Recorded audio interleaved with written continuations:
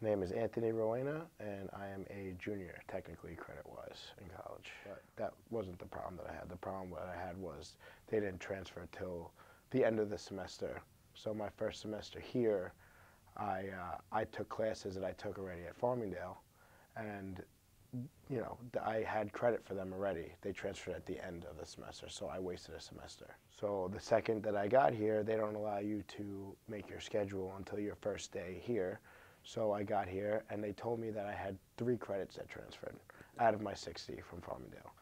So I took uh, four classes. I took 12 credits to be a full-time student. I took four classes that I took already at Farmingdale.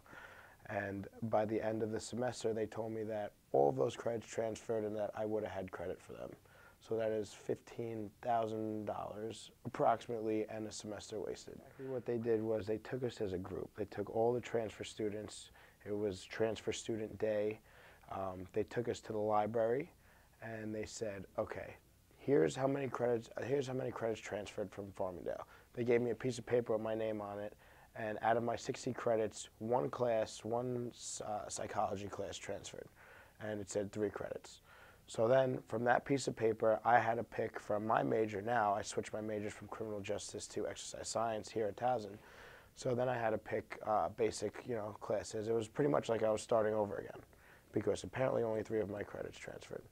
So I get here, I pick four classes to be a full-time student, and all four of those classes I had credit for already at Farmingdale.